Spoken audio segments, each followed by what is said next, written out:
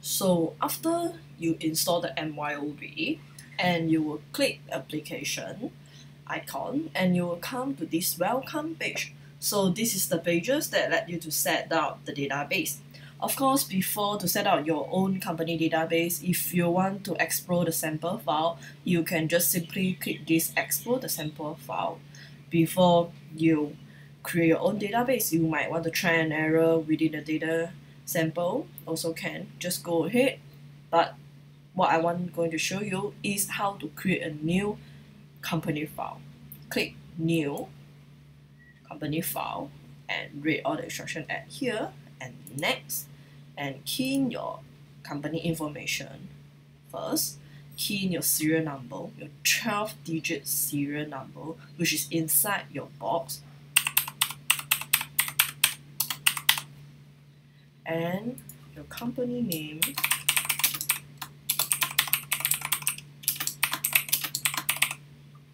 So, if you are private limited, please choose your UEN tab is local.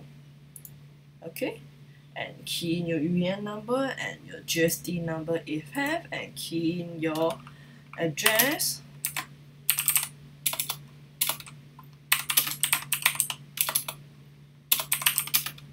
Okay, and your telephone number.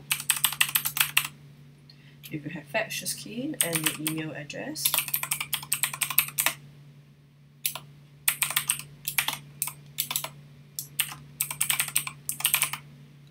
And next, this is a very important page. Remember, MYOB can change anything at any time, but not the financial year. So please, when you do the setup and when you come to this point, please double confirm with your accountant or your auditor or your secretary that what is your financial year. For example, my one is the calendar year, which means January to December. So my financial year is 2017 and my last month of the financial year is December and my conversion month is January. And come on this uh, the number of counting period, I will propose that please choose 13 month is for the audit adjustment purpose. And next, double confirm again, your financial year is January 1, 2017 to December 31st, 2017. Is that what you want? If yes, please click next. Okay, account list.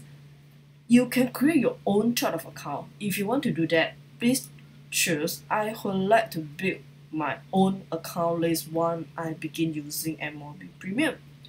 But if you do not have any standard chart of account, what you can do is use the sample, the standard provided by MYOB. So that's the first option.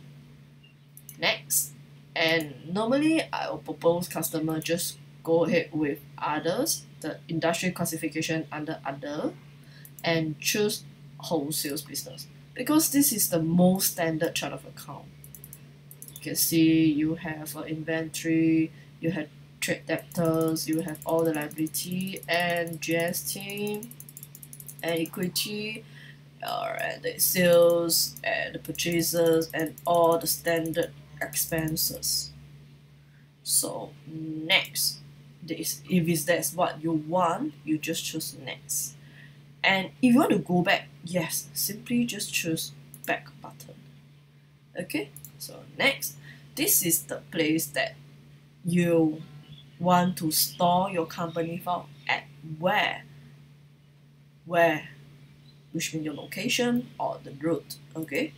You can simply change it and system will come out a selection and you can choose you want to put inside a local DC or you want to put at maybe your desktop just go ahead and next so congratulations, that is all about the setup company file.